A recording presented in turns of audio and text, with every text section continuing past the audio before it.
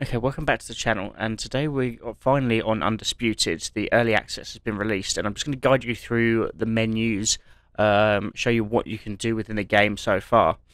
And I tell you, it does look brilliant. I'll be honest, um, but as it's early access, there's not a great deal of um, sorry of game modes available. You've got online, you've got single player, career mode's not there yet. But let's get stuck in. Right, so we've got the quick fight here. So that just, and then you can select who you want to fight. So I'll go into that quickly. What's the problem? The menus do take uh, a bit of time to load, unfortunately, if you're on PC, which we all are at the minute. Okay, so yeah, there's your list of um, fighters. I'm going to do a separate video where we go through every fight within the game so you can see who's available in early access and who's not. Prize fights. This is um, this is like a uh, like not story mode, but it's um, so they got like fights, legendary fights there um, that you can that you can go into and play, and get achievements and all that. That looks quite good. Might have to attack Froch Groves later. Okay, so online mode again. So yeah, you get a quick fight there. Um, there's not a great deal available yet. Um, I'm hoping that all of it comes fairly soon. You do need a controller to play uh, Undisputed as well. It's worth it. There's your news, career mode. That's what I'm looking forward to.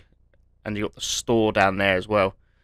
Uh, the store, I imagine you can buy other fighters and equipment, stuff like that, arenas. So yeah, we'll see there. It does look magnificent though, even in these early stages. Training, I won't go into that because it takes ages to load, but definitely recommend doing the training. A lot of the buttons are similar to a Fight Night Champion.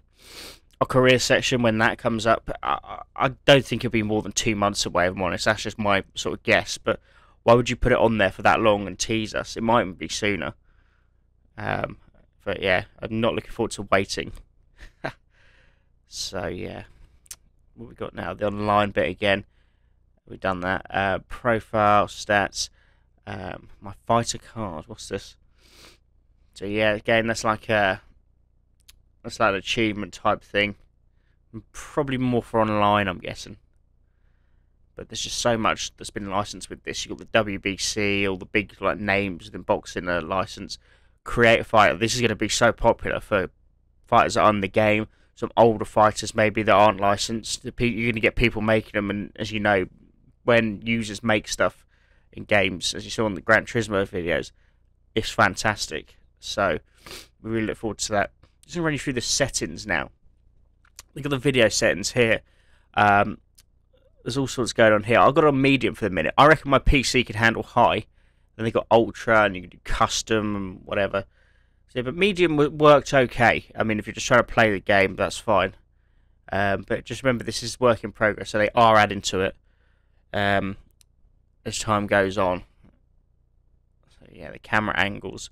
Camera angle I found actually alright for the fight I had yesterday. Because I had I did like the um, the training fight. That was fine. Yeah, you can so you can do it for each individual arena, which is pretty cool actually. they've only got six arenas within the game so far. This is a big one. The control very very similar, as I said earlier, to Fight Night Champion.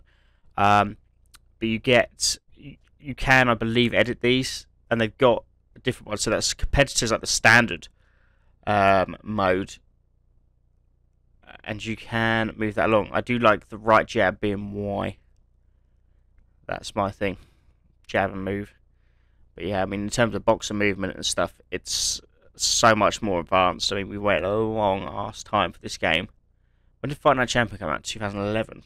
So what's that? Yeah, 12 years old now nearly 12 years.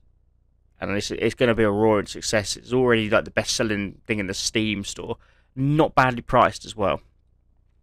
So here, look, we got the you got the different types of um, button configuration.